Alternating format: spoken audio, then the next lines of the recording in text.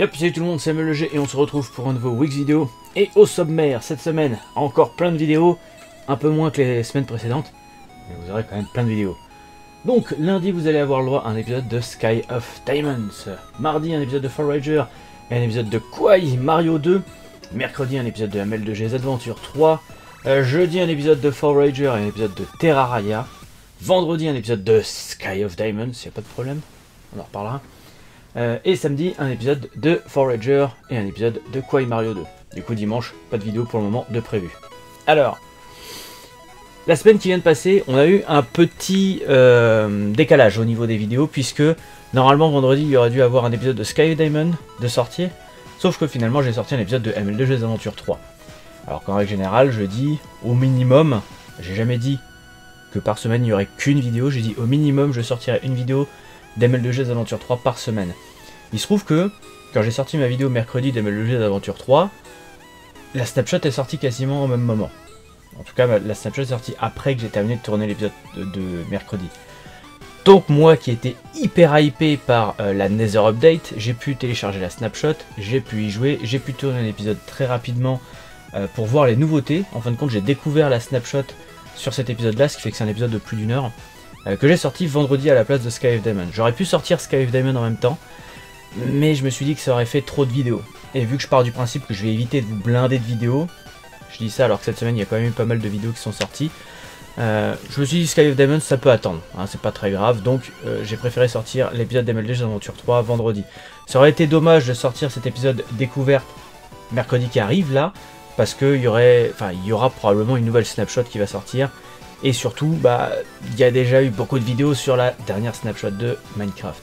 Je me suis dit, bah, je la sors pas en même temps que tout le monde, parce que, bah, de toute façon, ça va se noyer dans les infos, mais je vais la sortir à un moment où il y aurait dû avoir un épisode de Minecraft. Donc, c'est sorti vendredi. D'ailleurs, je peux vous dire que euh, l'épisode de mercredi prochain, d'ML Aventure 3, il a déjà été tourné dans son entièreté, sauf euh, la question euh, de l'épisode. En fin de compte, je le récupérerai plus tard pour pouvoir le tourner. Euh, mais en gros, j'ai pas de stress pour l'épisode de mercredi prochain. Et vu qu'il y aura de très grandes chances qu'il y ait une snapshot qui sorte mercredi qui va ajouter de nouvelles choses, parce que la Nether Update qu'on a eu là, il n'y a pas tout, il manque des choses. Euh, probablement que je sortirai peut-être, ça dépendra de, euh, du contenu de la snapshot qui sortira mercredi. Peut-être que je sortirai une autre vidéo dans la semaine. Je sais pas pour le moment. Bref. J'ai pas mal d'infos à vous, à vous sortir cette semaine, donc je me suis pris un petit capin pour tout noter. Euh, mais du coup, voilà pourquoi il y a eu un petit décalage au niveau des vidéos cette semaine. C'est tout simplement parce que Snapshot Minecraft, hype de la Nether Update, vidéo tournée. Voilà. Euh, ensuite, chose très importante à citer, Terraria, l'épisode qui sort euh, jeudi, c'est le dernier que j'ai dans ma liste. c'est peut-être pas le dernier de la série, je ne sais pas encore si ce sera vraiment le dernier de la série. En tout cas, on est très loin d'avoir terminé le jeu avec Missalani. Le problème, c'est que comme je vous l'ai déjà dit, Missalani a trouvé un boulot. Euh, du coup, on a beaucoup moins de temps pour se voir et pour tout vous dire, depuis que j'ai arrêté de jouer à Terraria euh, parce que bah, les gens se foutaient de moi parce que je savais pas jouer, alors que bah oui, je sais pas jouer parce que je découvre le jeu. Euh, on s'est pas reparlé avec Miscellany, on n'a pas du tout eu le temps de se revoir. Donc bah, pour le moment, on n'a pas du tout eu le temps de tourner d'autres vidéos sur Terraria. Donc pour le moment, l'épisode qui va sortir jeudi, ce sera le dernier. Il y en aura peut-être plus tard, j'en sais rien, mais pour le moment, c'est le dernier. C'est ce qu'il faut savoir. Alors vous allez peut-être entendre du bruit euh, avec le Blue Yeti au niveau de la fenêtre parce que Blue Yeti est pointé par là-bas et la fenêtre est juste derrière. Il y a des bourrasques de vent par chez moi impressionnants et du coup j'ai pas dormi de la nuit à cause de ça. Euh, vous allez sûrement les entendre dans le micro. Je sais pas, il y a de la musique en fond, je parle, peut-être que vous les entendrez pas, j'en sais rien, mais en tout cas il y a beaucoup de vent. Euh, en tout cas pour ce qui est des vidéos de la semaine c'est tout, j'ai fait le tour. Il y aura peut-être d'autres vidéos, je vais en parler sur les, sur les notes que j'ai faites ici. mais justement on va les lire ces fameuses notes. Donc pour ce qui est de Kwai Mario 2, euh, sur le premier épisode, j'ai pu le dire que j'ai tourné cette série il y a un petit moment déjà. En tout cas, j'avais commencé à tourner cette série il y a un petit moment. Je l'avais pas terminé euh, parce que je me suis retrouvé à faire d'autres choses en même temps. Euh, mais il faut savoir que à, l'heure actuelle, Kwai Mario 2, j'ai 11 épisodes de tournée. Donc il n'y a pas de problème pour les sorties de vidéos. Et j'ai repris les tournages en fin de compte à partir de l'épisode 10. Ce qui fait que de l'épisode 1 jusqu'à l'épisode 9, vous allez avoir la qualité Blue Yeti. À partir de l'épisode 10, et jusqu'à la fin de la série, vous allez avoir la qualité euh, du son de mon micro casque, tout simplement. Et Kwai Mario 2, qu'est-ce que c'est pour ceux qui ne savent pas et qui ne sont pas abonnés à la chaîne de Hack euh, Sachez que j'ai une autre chaîne YouTube où je sors uniquement des vidéos sur des hacks de Super Mario ou des hacks de, jeux vidéo. C'est principalement Super Mario en vrai. Euh, bah, Mario, c'est un hack Kaisolite. Donc en gros, Kaisolite, qu'est-ce que c'est? C'est au-dessus de la difficulté difficile. Donc j'ai des niveaux qui sont classés difficiles, mais j'ai des niveaux également qui sont classés Kaisolite. Donc Kaizo c'est vraiment ultra hardcore, Kaisolite c'est entre le ultra hardcore et le niveau difficile. Donc c'est encore faisable et c'est toujours appréciable. Donc euh, voilà. Pour ceux qui sont intéressés, euh, vous pouvez retrouver cette chaîne là normalement sur la page principale de YouTube, tout en bas euh, de la chaîne principale. J'ai mis trois liens il me semble. J'ai ma chaîne de rediff de live, j'ai ma chaîne des musiques de Super Mario World et j'ai ma chaîne de hack. Vous pouvez y aller là-bas. Ensuite, Sky Diamond rapidement, j'ai toujours pas rejoué sur le mode pack, ça fait deux semaines que j'ai pas touché. Euh, toujours 50 épisodes dans la boîte. Je ne compte pas y retoucher tant que bah, je n'aurai pas terminé de sortir à peu près toutes les vidéos. Et ça va me permettre du coup de faire une grosse mise à, jour pardon, quand je vais reprendre les tournages, en espérant que ça casse pas le mode pack par contre. Euh, MLG Aventure 3, j'en ai parlé. Euh, l'épisode qui sort mercredi a déjà été tourné. Il me reste juste à récupérer le commentaire de l'épisode pour conclure la vidéo. Euh, et probablement en fonction du contenu de la snapshot que je tournerai une autre vidéo qui sortira la semaine qui va arriver. Terraria, je viens de le lire. 16e épisode, le dernier que j'ai dans la boîte, j'en ai pas d'autres. Euh, pour ce qui est de Yoshi's Crafted World, on a enfin réussi à trouver du temps avec Darboop, du coup on a tourné quelques vidéos et on est actuellement à 24 épisodes dans la boîte. Le dernier épisode qui est sorti sur YouTube c'est l'épisode 18, euh, on a 24 épisodes maintenant sur l'ordinateur. Donc on continue à, tourner, à avoir notre, bah, nos vidéos jusqu'à ce qu'on termine le jeu et ensuite bam, je peux vous balancer enfin la série tranquillement.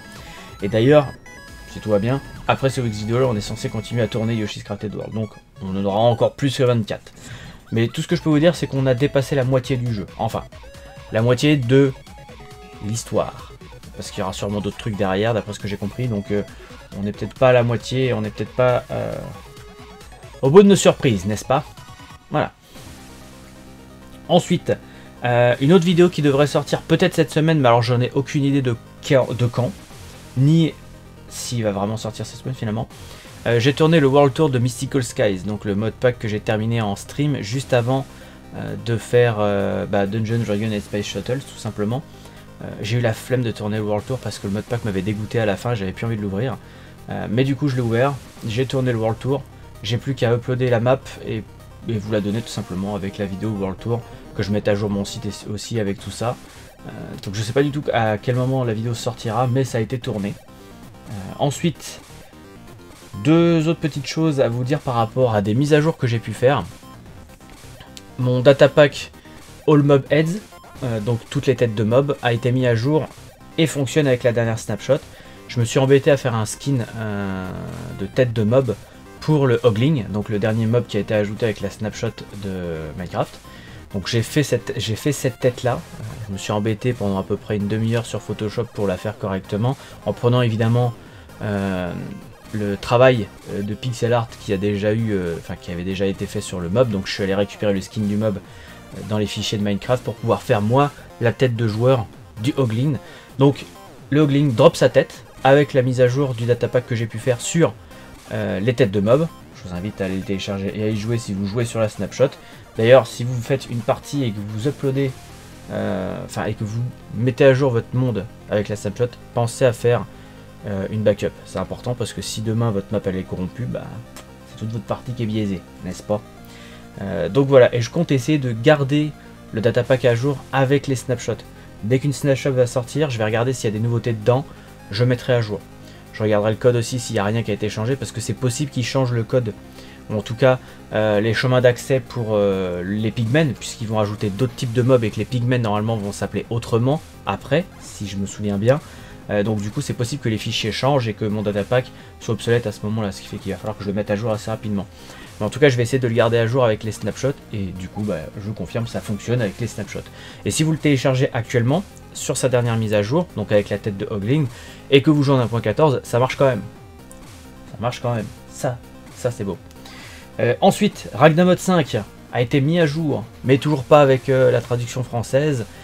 Désolé pour ceux qui l'attendent, je vais vous en dire beaucoup plus sur la traduction française justement.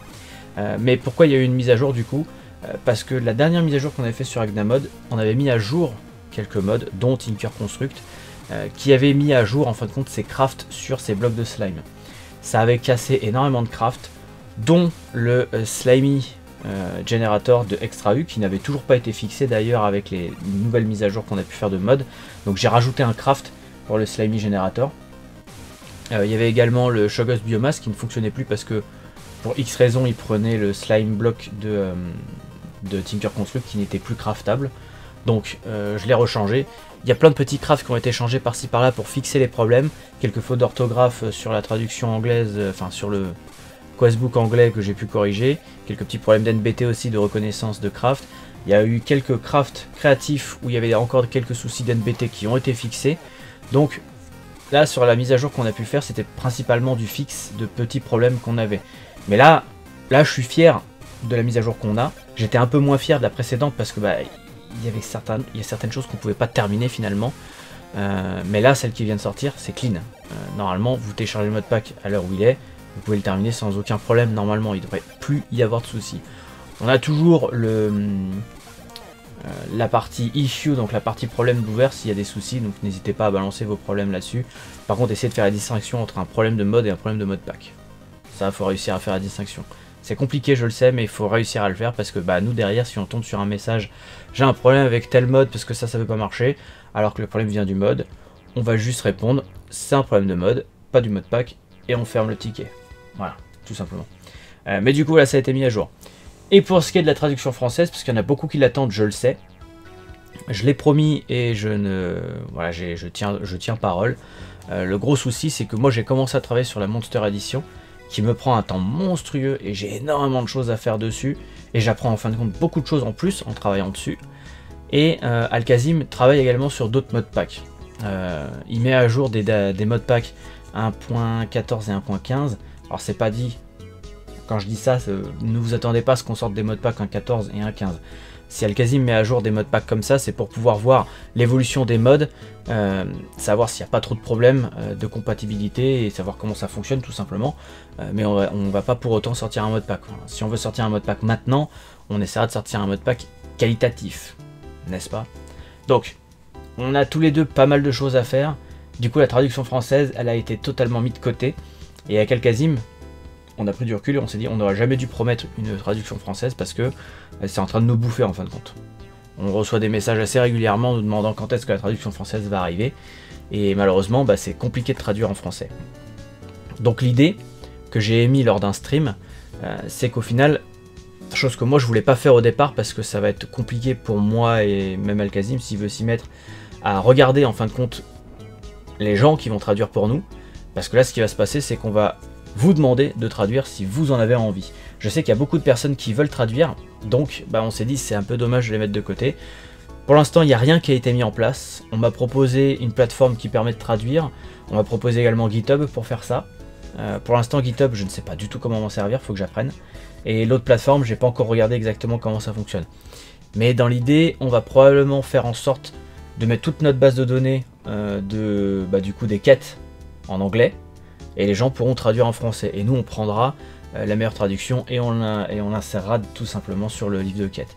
Ça nous prendra plus de temps de l'insérer sur le livre de quête, mais au moins la traduction sera là, quoi, tout simplement. Je vous en reparlerai quand on mettra ça en place avec Alkazim, je sais pas du tout quand est-ce qu'on le mettra. Euh, mais voilà, sachez qu'on va faire quelque chose comme ça, donc si vous avez envie de participer à la traduction du questbook français, eh bien vous pourrez euh, évidemment y participer. Et bien entendu, important de noter, bien entendu, euh, que vous serez cité. Euh, pour toutes les personnes qui auront travaillé sur la traduction française, vous serez cité. Hein, on n'aura pas, on va pas garder les honneurs pour nous, hein, parce que c'est pas nous qui allons travailler la traduction française, c'est vous. Donc, euh, bah, s'il y a 50 personnes qui ont travaillé sur la traduction française, eh ben, il y aura 50 pseudos en plus à ajouter, tout simplement. Alors, je dis pas sur Curse, mais dans les remerciements, vous serez mis en avant.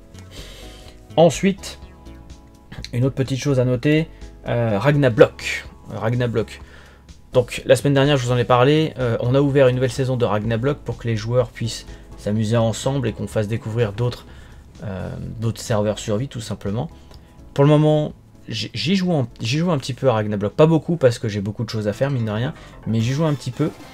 Euh, il faut savoir que les vidéos de Ragnablock, moi personnellement je vais pas tryhard pour les faire, je vais en faire quelques-unes, mais je vais aller en mode cool pour les faire, et ça se passe super bien.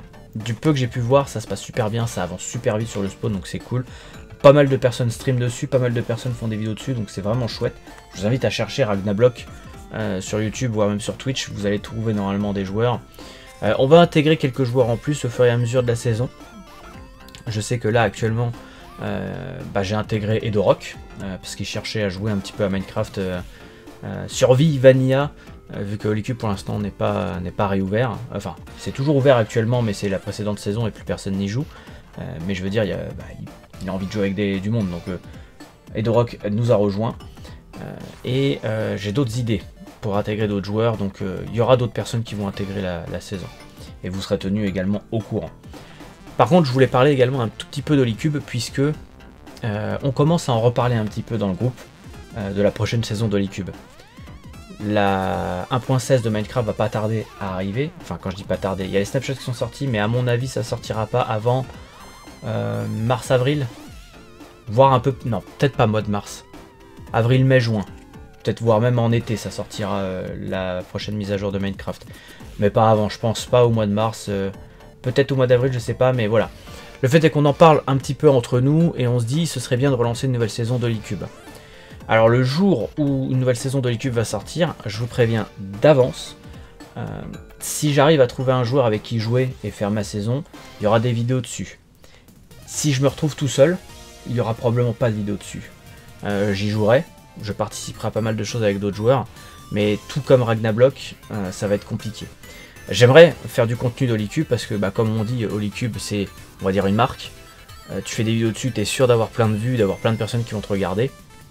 Comme dit, moi je suis pas euh, à la course aux vues, ni à la course aux abonnés, ni quoi que ce soit. je veux juste passer du bon temps et me faire plaisir. Eh bien, si j'arrive, comme je le dis, à trouver quelqu'un avec qui jouer et faire ma base du coup, ou faire tout simplement évoluer le spawn, euh, ouais, il y aura des vidéos et j'essaierai de sortir des vidéos. Et peut-être que je mettrai en pause ML2G Aventure 3 justement pour rester à fond dessus sur Holycube, en tout cas pour les débuts de saison. Euh, mais vraiment, si je suis tout seul, non, je vais pas mettre euh, de côté ML2G Aventure 3 parce que bah, je suis déjà tout seul là-dessus.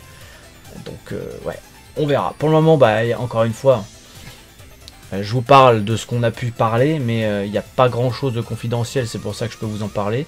Et de toute façon, on n'a pas de date, on n'a pas de seed, on n'a pas de thème, on a donc euh, même si j'avais envie de vous en parler, je ne peux même pas. Et de toute façon, même si j'avais ces informations, vous ne le saurez pas, quoi qu'il arrive. Donc voilà, c'est à peu près tout ce que j'avais envie de vous dire pour ce week vidéo, c'est déjà pas mal. Donc ouais, mise à jour de mode, mise à jour de data pack, je suis content parce que... Enfin, mise à jour de mode pack, pas de mode, de mode pack et de data pack, donc je suis content que ça, ça a été fait, parce que mine de rien, c'est du taf. Euh, pas mal de vidéos qui vont sortir cette semaine, un peu moins que la semaine dernière, comme j'ai dit, parce que également on n'a pas la série UHC. Donc ouais, ça me fait plaisir. Sur ce, je vais vous laisser. Passez une bonne semaine. J'espère que le programme vous plaît. J'espère que vous allez être nombreux à regarder les vidéos et à me suivre sur Twitter et Twitch. Parce que sur Twitter, je balance plein d'infos aussi pour ceux qui... Euh, ah, au cas où je sors pas de vidéo, bah, je sors des infos sur Twitter et sur Discord. Euh, et également sur Twitch si vous voulez me voir en stream. Ouais, ça souffle. sur ce, porte bien et à bientôt les amis. Bye